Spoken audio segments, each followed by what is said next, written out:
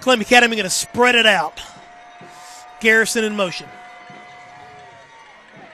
Oh. Oh, and Jackson Carey gets hit while he throws into the hands of number 57. And that was just bad luck there. That's Nathan Hargrove on the touchdown. because that would not have been a fumble, but unfortunately never hit the ground. So it's not going to be an incomplete pass when he comes up with it.